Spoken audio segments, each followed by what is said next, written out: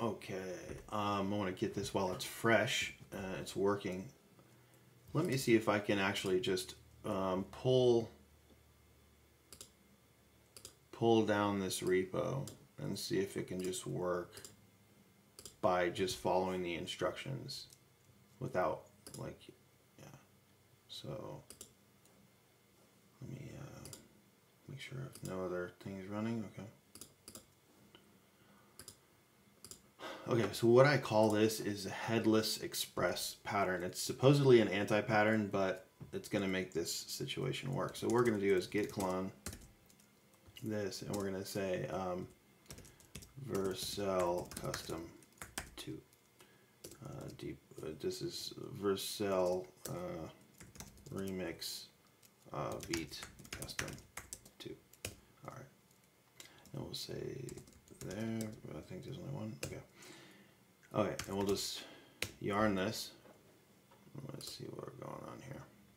Okay. So what I call this is the headless express pattern. And the reason I say that is because of uh, what is in here. This. Okay.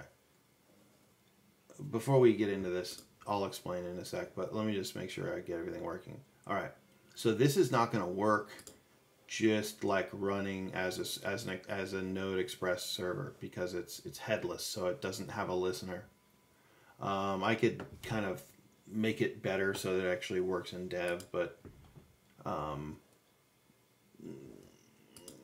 I said yarn. Let me see if I can. I don't think Vite will work. Okay, I don't think it's gonna work. Let's just try. Um, let's see what we got here. So let's just follow the README. What does the README say? Make sure, oh, custom build directory. Okay, this is specific, really specific to Vercel. So we're going to say npx Vercel dev. So that should create us a little uh, Vercel folder here somewhere. Once we do that, we'll just say um, setup develop, yep.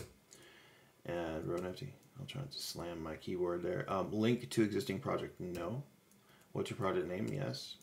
In which directory? It's dot slash is lo local. Okay. Modify the settings. Yes, let us modify the settings.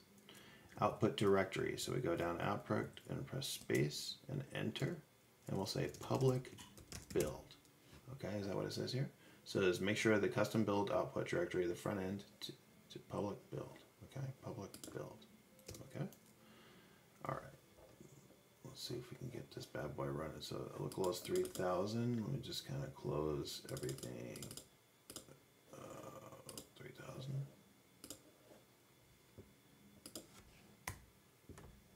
Okay.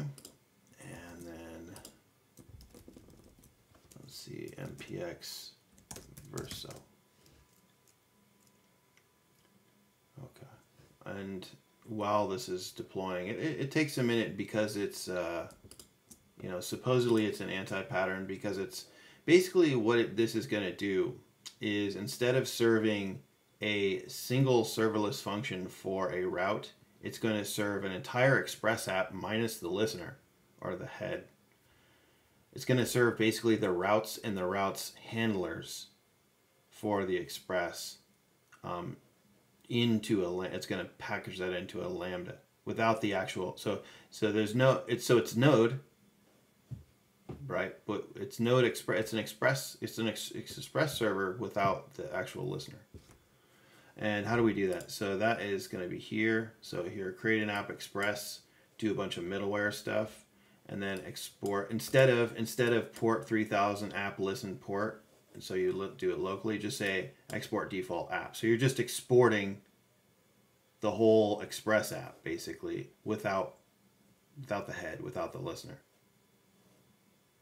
So then um, what's going to handle uh, HTTP request is now going to be, um, well, wherever it's, wherever it's sending the requests to, which will be the build index.js. Okay, so that's going to be, um, well, we don't see it here because it's just happening on Vercel.